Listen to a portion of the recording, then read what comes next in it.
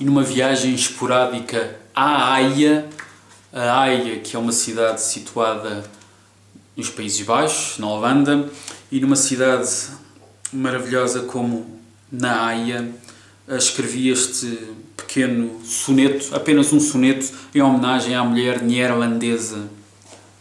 Aqui vai.